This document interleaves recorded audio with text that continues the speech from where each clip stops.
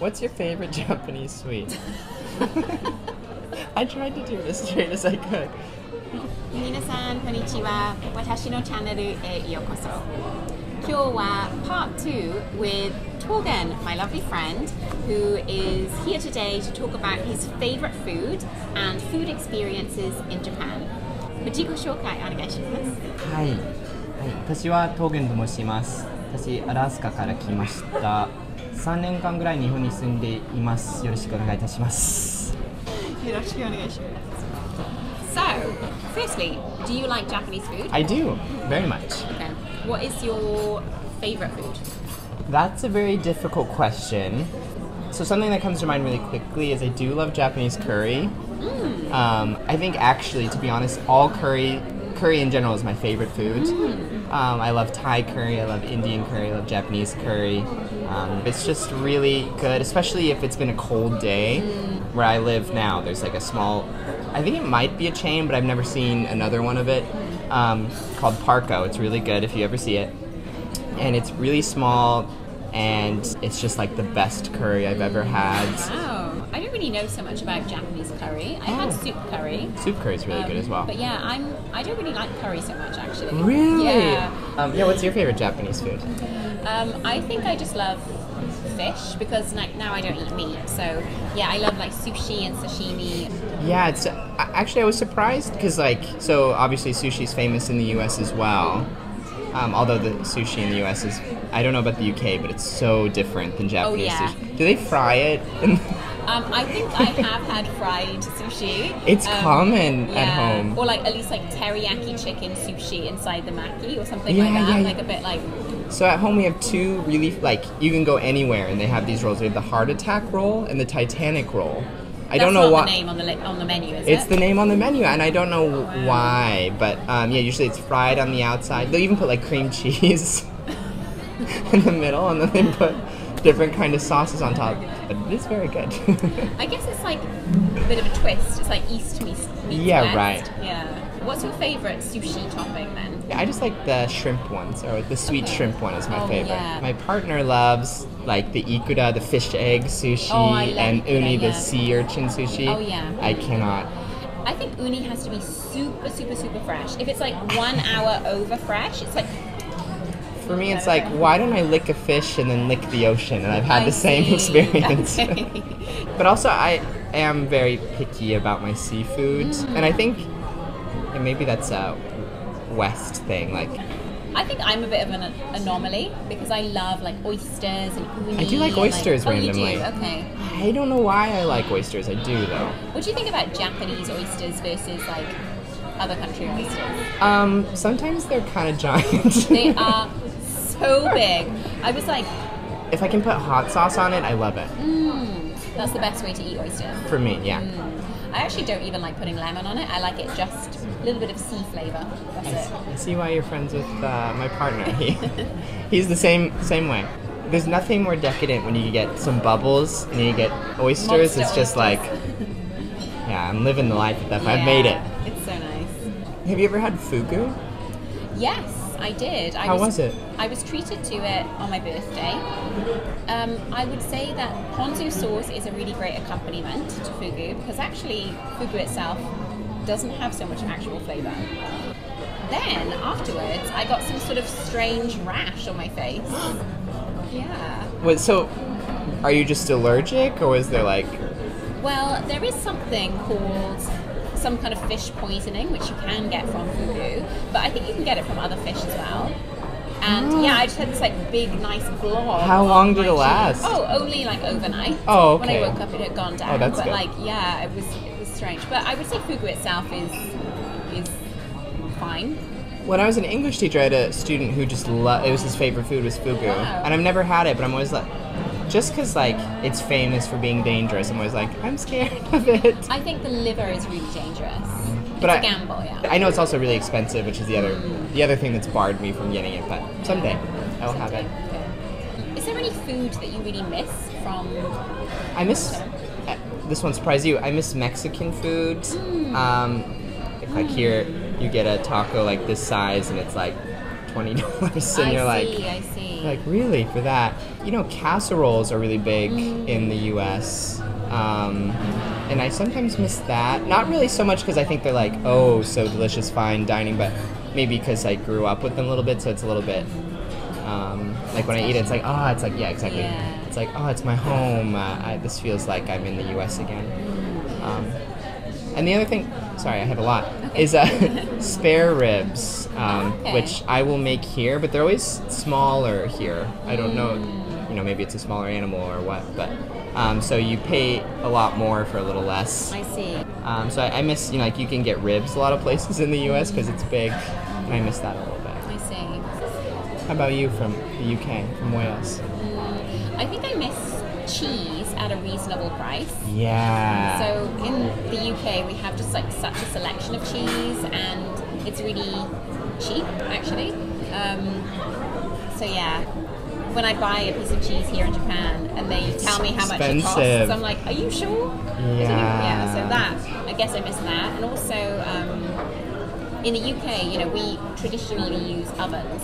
That's like a really standard part of cooking. So just getting a piece of meat or something like that and putting it in the oven and, and kind of leaving it. Um, I kind of miss that. However, now I've changed my eating style and I don't eat meat anymore. So yeah, maybe when I go back to the UK, it's going to be like, why do we have this oven? Well, so you haven't been back in probably about two, three years as well, right? Three right? years, yeah. Yeah. I mean, so I actually bought a small oven since I've been here. It's electric, so it's not the same, not nearly the same as the ones at home. And I do feel like if I make a recipe um, from the U.S., I need to leave it in there for an extra 10 minutes in I see, general because okay. it's just not as strong or something. I don't know. Because it doesn't quite cook the same. I always feel like it's a little bit of a gamble. I'm like, is it going to come out the way that the recipe says it will? Um, I see. Do you feel like the price of food when you go out to eat, or even in supermarkets, do you feel like it's more in Japan? It depends, I guess, on what you're buying. If you're buying Japanese food, actually, no, I feel like it's very reasonable in general. Um, I can get ramen for like, you know, 600 yen, $6. And that's very reasonable to me, and you get a good amount. On the other hand, if I want to, like I said, make spare ribs, I do get less, and I end up paying like $40 to make it. Right. For the whole meal that I will make, yeah. it'll be that much. Yeah, you like izakaya? I do. I you know like recently I haven't been able to go as much, but back in October I went to Kamata and there are tons of izakayas there and it was just really fun. Um, going there and you can have a little bit to eat and you can have some nihonshu. Yeah, okay. What's your favorite um, izakaya dish? You know, I guess when I go to an izakaya, I do I want like sashimi or sushi or something. I think it goes really well with nihonshu, but also I usually go with somebody and they're like, "You should get this," and I'm like, "Yeah, I'll Okay. eat that." And then unless it's you know uni or something, I'm quite happy. Sometimes they'll bring you, you know, like the little, it'll be like a little dish, and it has like some sort of like stewed meat in it. Oh, Um, like otoshi? Yeah, exactly. Um, I think the, the joy of otoshi is that like you are given something that you wouldn't otherwise order. And you can often find like really fun new foods. I discovered shirasu through that. Oh, I went to an izakaya and they had like some grated daikon, uh, grated radish, and then put like a shirasu on top, and it was like so yummy. And So like at this restaurant we went to, they had an all-you-can-eat shirasu. So you order any dish, and they would just Oh. put it on top Pile until you on. told them when. Um, the other thing that's it's not Japanese food, I guess, but Italian food's quite good here. I feel like. Um, in general, I feel like in Japan I don't really have that many experience where I've just had a meal where I was like, this was bad. Like totally. Okay. the worst meal I've had is probably one I made myself that didn't go as planned. So. Okay. Do you have a favorite convenience store snack? Oh. You know what? Yes. Um, I have two. So, growing up, I had a friend whose mother was she was Japanese, but she was uh, raised in Hawaii, and so a thing there. I think it's like a Hawaii Hawaiian and Japanese fusion. I could be wrong, but they spam musubi. Spam. I was just about to say. so that you put spam, some rice, you wrap it in some seaweed. Maybe you put some sauce in there. Anyway, Family Mart is doing a special thing right now where they have it. Um, and so anytime I'm like, if I'm gonna go to the river and have a drink with somebody, I will always buy that. It's so good. Spam is not something I knew until I came to Japan. Really? actually. I, wasn't it made in the UK? I thought for some reason. Was it? Well, the only reason I think that is Monty Python did the spam song. Oh, I never knew about it, but I'm surprised when I came here. Like spam is a thing in Japan. Yeah. Well, if you go to Okinawa, you can get um, champuru, and they put spam in there, and it's so good. Um, I 100% recommend Okay. that. The other thing is, I don't know if you've had it, but they have cheese, and then they put the cod fat on the outside. I recommend that. I like to eat a beer with that, or a highball will go well with that, I think, as well. Yeah, I think the joy of Japanese snacks, the joy of Japanese food actually, is that it pairs so nicely with like beer or highball or nihonshu. Right. I mean, like, I think in general, drinking is different here. People are, mm. there's less shame around it in general. It's like, there's people who don't want to, and that's fine. Um, and there's people who want to drink a lot, and that's also fine. Yeah. And so it's designed to match either person really well. Um, whereas at home, I feel like there's more shame about both of those options somehow. Okay, Yeah. In my country, I think we we drink or we eat.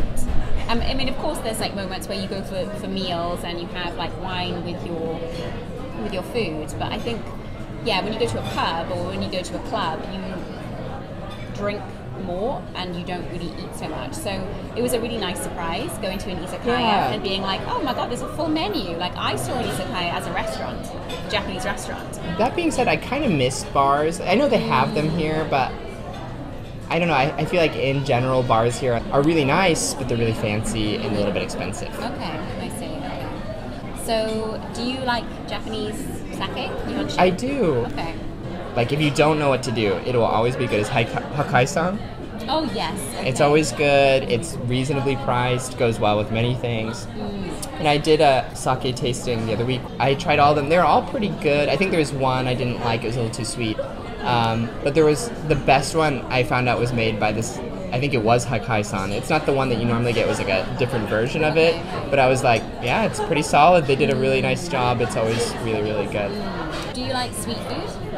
I do, yes. Um, so especially I think Japan has nice like ice cream that you can just buy at the convenience stores. Yeah, okay. I really like Parm. It's just like a vanilla bar and then they put chocolate on the outside, but the chocolate is nice. It's very rich and I don't know, I really like it for some reason, but seasonal things are really popular, like the seasonal flavors. And two summers ago, Haagen-Dazs did this flavored.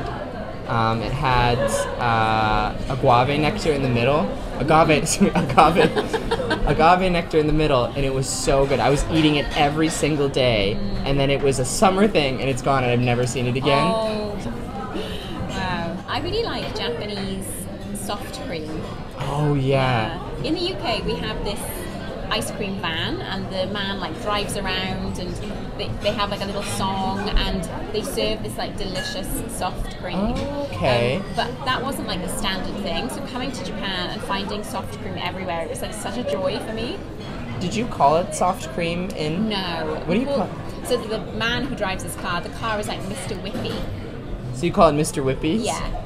So it's a Mr. That's Whippy. so funny. So we have the ice cream man in the U.S. as well. Um, I think he usually sells bars though, as opposed to. Oh, how disappointing. And the other thing is in the U.S. we do have soft cream, but we call it soft serve. oh yeah. Oh yeah. What's your favorite Japanese sweet? I absolutely love daifuku. Oh yeah. And kind of tying into what you said about the seasonal foods, I love like the different types of daifuku. Throughout the year, you can get loads of different types of. so yeah, I love the different types of daifuku throughout the year.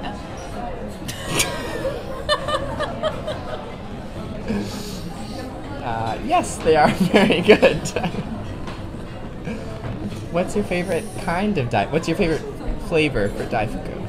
So a recent discovery was the spring themed. So like a recent discovery was the. I can't look at you. we'll just look into the distance. Yeah, the the one that I've recently discovered is like a sakura themed one, and it's not Oh, like okay. the pink one with the leaf around it, but it's like um, looks like a normal daifuku, Okay. And inside it is sort of like this really delicate shiroan mix. I don't know, it's really nice. Oh, It's got a really subtle flavour. Um, and maybe it's like more delicious because I can't have it for so long. Like it's only going to be Right. They they make these flavors that people love, and then it's, they take it away, and then when it comes out, people are like, well, I got to buy a lot of it now Yeah, because it's not gonna, you know, I have to wait another year. You know, there's some good economics behind that. I, I think. see. Well, yeah, I definitely feel that. Like I see it, and I'm like, I better buy it now because Yeah, exactly. you never know when you're going to see it again. I mean, it's not just flavors either; it's the packaging. Like the mm. flavor might stay the same, but they'll do the seasonal packaging. and they'll be oh, like Okay. this. I mean, that was the thing that surprised me in Japan is like the packaging of the food or drink that you're buying is really important as well. Right, totally. And I, I had students who said like I kept the bottle purely because it had, you know, like the, I don't know, 2006 winter packaging on it, and I loved it. And I was right. like, I mean, like in the U.S. we have Starbucks cups, but that's or like maybe they do a promotional event, but I think for the most part we're like nice, throw away. I see. Yeah, yeah. So that was, I don't know, I think that's kind of an interesting and very Japanese thing. Okay, lovely. All right, well, we're going to finish there today. Um, thank you so much for watching this video. Please do comment on your favorite food or drink in the comment section below. And until next time, sayonara. じゃあね。